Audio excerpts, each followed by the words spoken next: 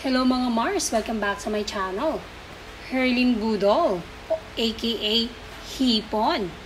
Tuwang-tuwa dahil nayakap at nahalikan lang naman niya si poging-poging ang bay ng bayan na si Alden Richards.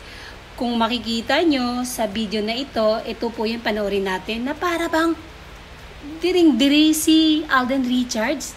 Kaya nag-walk out na siya after nung hinalikan siya ng una dahil humahabol pa si Hipo ng pangalawa. Kaya umalis na agad si Alden. Pero swerte ni Hipon dahil nayakap at nahalikan niya si Alden Richards. And that's it mga Mars. Thank you for watching.